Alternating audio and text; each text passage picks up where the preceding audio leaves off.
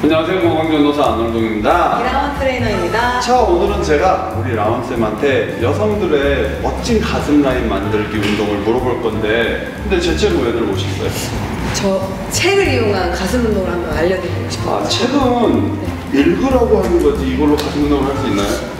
읽기 위한 책도 있지만 만들기 위한 책도 있습니다. 아 그래요? 네. 그럼 한번 어떻게 하는지 한번 보여주세요 자, 먼저 책을 딱 들어주시고요. 네. 자, 어깨 넓이 살짝 벌려주신 상태에서 자, 양팔을 벌리시고 네. 그대로 손을 딱 모아주십니다. 오 그 상태에서 손바닥은 계속 지그시 누른다는 상태에서 네. 가슴에 힘을 주시고 위아래로 15도씩만 음. 가슴에 힘을 주시면서 운동을 하는 동작입니다. 여러분은 잘 안 보이시는데 저는 잘 보여요. 지금 가슴 운동이 굉장히 되고 있는 게. 그래서 이렇게 하시면 팔을 붙일 때 가슴에 정말 힘을 많이 주셔야 돼요. 팔로만 모으려고 하면 힘이 안 들어가고 이렇게 해서 몇 회 정도 올렸다 내렸다 하면 도움이 될까요?